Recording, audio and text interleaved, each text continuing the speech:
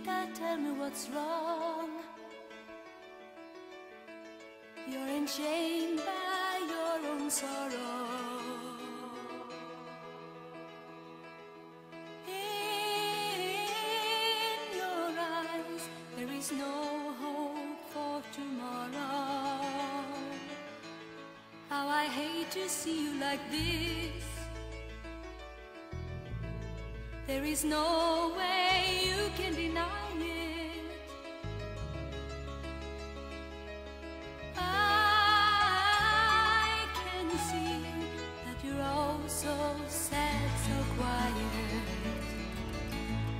Chiquitita, tell me the truth. I'm a shoulder you can cry on.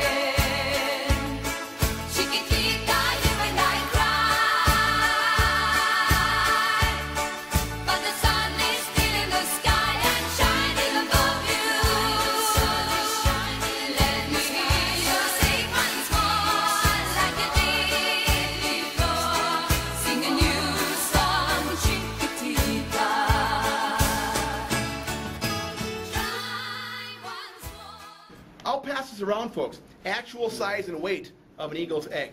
But this egg right here, it's a replica. So if you drop it, don't feel bad. It's not the last egg in the house. All right, you ready for more? Sure. Hold on. I'm gonna jump over here? Right, I'm not going to jump in. Oh, okay. Hold on. I'm not going to jump in. I'm going to talk about something else though first. Hold on. Okay. I just want to talk about how raptors are called that or why they're called that, classify that. Yes, they have a sharp hooked beak that they use to rip and tear the prey apart with, but more importantly called a raptor or bird of prey because of how they catch their food. They use their talons, their claws. In fact, each one of these talons here can exert over 400 psi in each one of these talons. That's how they crush and kill their prey.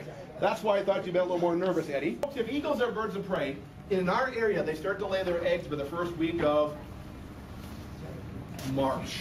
First week of March, yep. There's a bird of prey that'll start to incubate its eggs even earlier in this area. In fact, in January. Any of you know who it is? An owl. Very good guess. Yes, it is. It's a great horned owl. It's our last one, Eddie. Mm-hmm. Here it goes. We now have the weight of an eagle there, Eddie. Your original guess. Better keep clapping hard. I'm starting this over. this is this is like a rerun of it. 18, eight- like just before they had planes, when people all they did was they had like cardboard strapped to their arms. and- That's right. Yeah. Yep, it is exactly in their muscles in her wing, and that prevents her from being able to fly again. So she is a female bald eagle. So we know uh, that she should weigh about how much, Eddie? 11. 10 to 11 pounds. Very good. And the males, Eddie, weigh about how much? Eight to ten. Uh, Eddie? Eddie, just to let you know, we do another program at 3 o'clock. I'll see you then.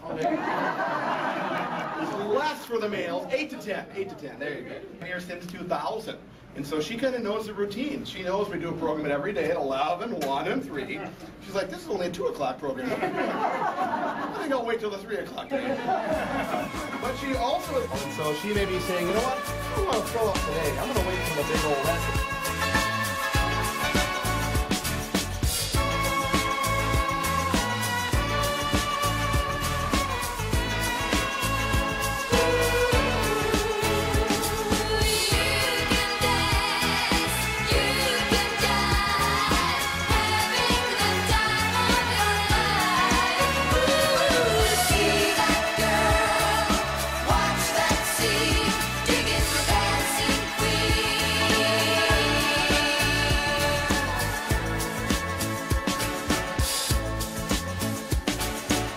I did not.